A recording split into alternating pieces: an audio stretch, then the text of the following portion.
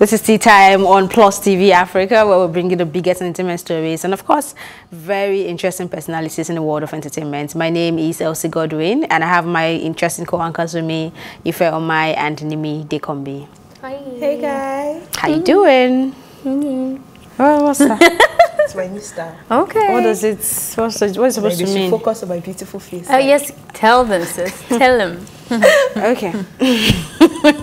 Nollywood actress Victoria Inyama has countered the claims by her colleague, Anita Joseph, over the non-existence of rape in marriages. Anita Joseph had posted a video on her Instagram where she argued that a woman cannot claim her husband raped her if he had sex with her when she wasn't in the mood. Basically, she said that um, she's his property. So she shared a part of the video. Uh, we shared a part of the video with you. And now just take a look at Victoria Inyama's response. Hi, uh, I've been getting so many DMs regarding what my darling Anita Joseph said um, concerning marriage, rape, and all that. Can a husband rape? Yes, a husband can rape. Um, but of course, uh, you know, it depends. It depends. But um, let me define it right? So marital rape or spousal rape is the act of sexual intercourse with one's spouse without the spouse's consent. The lack of consent is essential here right? Because it does not need to involve physical violence right? Marital rape is a form of domestic violence and sexual abuse because yes they are married. Yes you know unfortunately i think the problem here is um, what the bible says uh, re religion culture tradition and stuff. Because i've read something in um, corinthians i don't know if it's first or corinthians 7 3 i think it's first corinthians 7 3 or something where the bible says the uh, you must not deny your husband your body neither should the husband deny the wife of the body Fine. Now, in tradition, once the man has paid your bride price, you belong to him. He owns you. So he can do anything to you, including kill you. Really? Okay. So, society again means, oh, you have to accept it. At least you should be lucky that he's touching you. Hmm? That's not what marriage is, please. Let's let's stop, you know, let, let's stop. Truth is the fact that your marriage is great nice and everything is good and you have you you you you, you can speak in your marriage. A lot of people cannot talk in their marriage. A lot of people cannot decide anything in their marriage and they are still in the marriage due to circumstances beyond their control.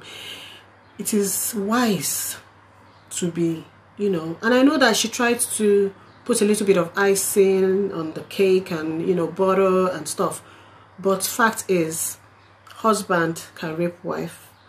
I don't know about wife raping the husband. Maybe when he's sleeping and you climb on or something like that. I don't know. But the most important thing is consent is needed. A lot of women are going through, they are constantly raped in their marriages. Constantly. They're so ashamed to even talk about it. You know, it, it, it's different because I see it differently because I have experienced it and now I'm learning about it. The trauma and the damage it causes is beyond your understanding. So just pray that you don't experience it so that you would not understand it the way people that are victims understand it. Okay? I love the way she addressed this. Mm -hmm. First, um, I like how she defined what um, marital rape, rape is, yeah. tries to break it down for Anita Joseph to understand. And I also have to give kudos to the older celebrities we have. People like her, Ibinabo Fiberesima. Like when they are interested in talking about something, they don't dance around it.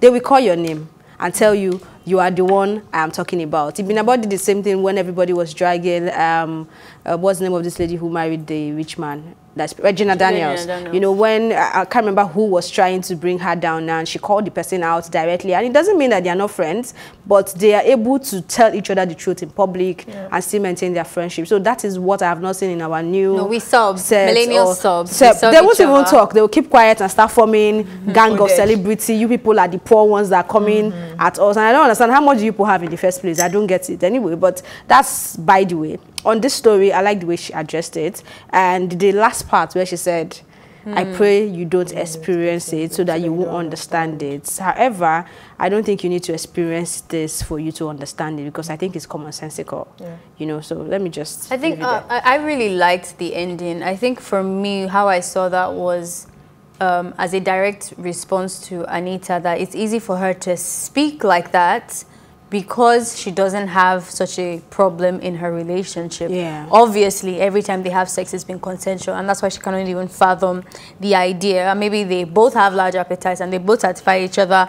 She she thinks that that's a normal thing, and uh, you know why would you now not want to um, give your man, you know, pleasure or whatever. So I think I understand where she was coming from in regards to that. And I, I that for me, the idea behind it, the logic behind it is why I seen it with a lot of conversations where people don't do any effort in trying to remove themselves from their comfortable situation, their yeah. comfortable power, their comfortable privilege, yeah. to look at a situation mm. from the perspective of a the oppressor or the victim, um, the oppressed rather, or the victim. And I think that happens a lot in a lot of conversations that we've had on this table mm. with rape, with police brutality, with racism, mm. with this and this and Bad that. Governance. And yeah, and, and, and more, if, I don't know if it's only me that's having this, but I'm having a lot of conversations with people, white friends about racism, boys about rape, you know, etc., etc. And there's a tone that that is just, seriously, you're just tone deaf yeah. to other people's problems. And yes, I agree that you don't always have to necessarily like be in a situation to understand.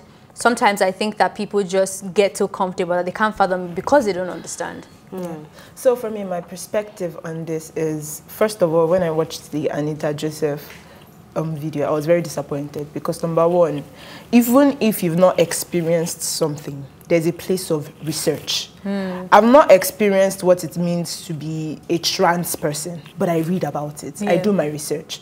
So I was very disappointed because she has a huge platform. She has a huge following. She has a, and we're talking about rape currently. A lot of people mm. are protesting about rape. So it is very, very disconcerting that she would use a platform in that manner. You don't have to experience marital rape for you to know that it exists. Mm. Consent is the question here. Mm. Is there consent? Whether you are married, marriage is not consent too. because I feel like, and again, we're in a society where a lot of people already believe this. So why are you reinforcing that kind of belief? Because she's part she's of part the of society that believes society it. She, has a she actually represents a huge, a yeah. huge part of the society. So we can't take that away. She she's representing a lot of people because if you look through her comment section, people like if you married a lot yesterday, of people were in support. They were like, "Go, girl, tell amazed. them the way it is. If they don't want to marry, they should leave the and house and blah blah blah." And I'm like, you know, okay. something also she mentioned in the video that also stood out for me when she was like, um, she said something about that. How can you say your husband raped you?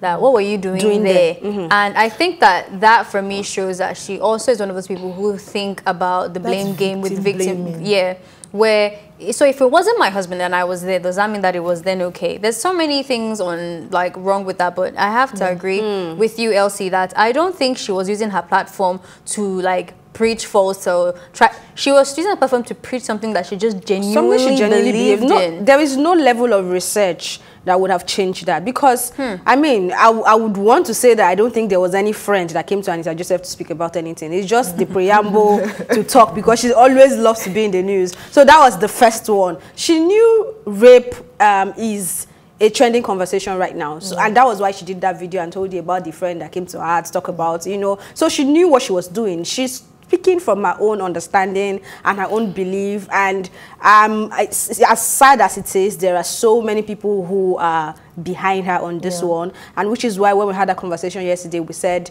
we just need to get to that point where we sensitize people and make them understand that they are humans. They they've got consent. They have the right yeah. to consent and all that. So yeah. I just hope that, um, like Ebele said yesterday, um, she said it's a whole generation that, that needs to, to go go before we can make, make progress in this. But Victoria Inyama belongs to that kind of generation. If you want to talk of about course, people of that generation, but she's somebody who is who has progressive views. Yeah. So I feel like people from and that you think generation that Anita can unlearn to our this. generation because Anita mm. is how she's I don't a think she's young very girl old. now. Now I don't. I don't I'm think surprised. we need to actually wait for the generation information to pass by. I think people need to, start re-educating themselves and unlearning a lot of harmful things. Yeah. To be honest, one person at a time. Yep. Mm -hmm. I, am waiting for her to make another video I to say so. that she has now understood. Yeah. Say probably she has speaking, spoken to somebody like Victoria and spoken to other people in the industry and they've nah, been able to I don't see that happening.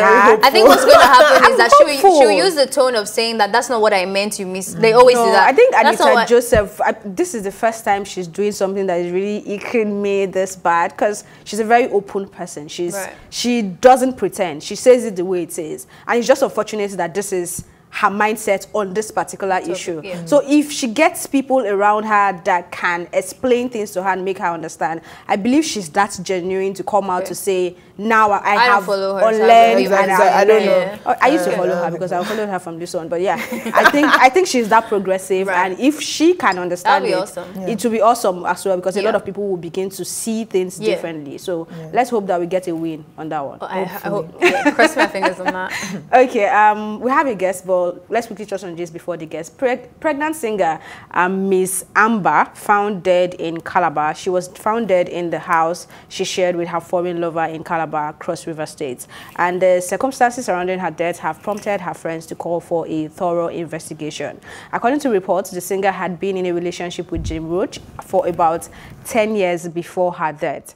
Um, the lifeless body of the lady, who is said to be five months pregnant, was found hanging in the apartment. It was gathered that Roach reported the death to the police and claimed she committed suicide after they had an argument on Friday. However, her friends have rejected the claim and are now calling for an investigation. They claim the duo had been having issues in their relationship and it usually turned violent. Also, according to one of her friends, before she, she was found out to be pregnant, she had already decided to quit the relationship and asked her fiancé to pay her off with 5 million naira, but he allegedly agreed to pay 2.2 million naira. I was yet to fulfill the promise before her death. Yeah. Mm-hmm. All these details are so sketchy. Let it first start because I don't know why she was laughing. Is it the five million it's, it's very, Yeah, I, I, don't, I don't understand the idea of being paid off to break up. That's very interesting. I feel, I feel like maybe she was trying to demand because it was when she discovered she was five months pregnant that she demanded right. the money. So I feel it's like a child support mm. okay. money. That's how I feel. Well, 2.5 is very little. Like, isn't that like a lifelong thing where the man is just going to be involved yeah. and you need legal aspects Maybe this that? one is for the first trimester. Okay. Anyway, it's really interesting, um, that conversation and how they're going to investigate because in Calabar, mm.